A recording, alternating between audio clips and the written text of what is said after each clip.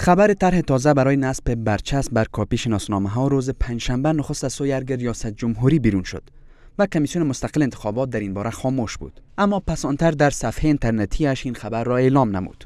این طرح نخست از سوی کمیسیون مستقل انتخابات رد شده بود. اما عصر روز پنجشنبه رئیس جمهور غنی اعضای کمیسیون مستقل انتخابات را برگ فراخواند. و در نشست کسای منابع جنجالی گفته شده است. دستور داد که این طرح پذیرفته شود. این منابع می‌گویند که این کار رئیس جمهور ناخشنودی شماری از اعضای این کمیسیون را به همراه داشت.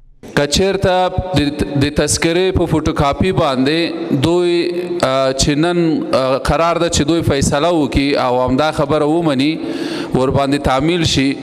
نو دا دا معنا چې د انتخابات به د تقلب نه ډکې او د اوس نه ټولو ته وایم چې انتخابات به انتصابات به در همین حال نهادهای ناظر انتخابات می‌گویند که بر بنیاد قانون انتخابات کمیسیون مستقل انتخابات حق تغییر کارشیوه های انتخاباتی را در جریان روندهای انتخاباتی ندارند.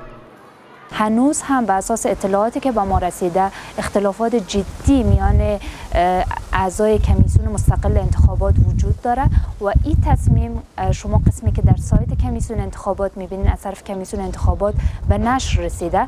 اما اکثریت اعضا در کمیسیون انتخابات با این تصمیم مخالف هستند و هنوز نتونستن که به یک تصمیم جمعی برسن. از او خاطر هست که اونا موقف خود رسما از طریق رسانه ها شریک نساختن. با پذیرفته شدن این طرح نهادهای ناظر انتخابات چالش های بسیاری را پیش بینی می کنند از جمله امکان تکرار رأی و نبود امکان تفکیک میان شناسنامه های جلی و شناسنامه های اصلی. چسب نبودن استیکر روی اصل تذکره و هم در کاپی تذکره متاسفانه که ما با همچه سوالات و نگرانی موجود است امکان جعل تقلب موجود است.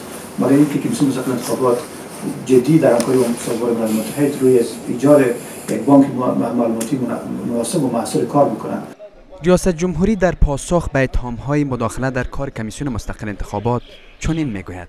ولسمشر واضح هدایت ورکړی دی چې هیڅ مقام په شمول د ولسمشر د ټاکنو د خپلواک کمیسیون په چارو کې مداخله نه کوي. پارک کوم جلسات دایرې دي په هغوی کې د حکومت رهبري د مرسته کوونکو هیوادونو سفیران د کمیسیون غړي او امنیتی مسئولین د هماهنگی لپاره او د ټاکنو د تیاری لپاره بحث کوي تاکنون از کمیسیون مستقل انتخابات کسی در این باره چیزی نگفته است.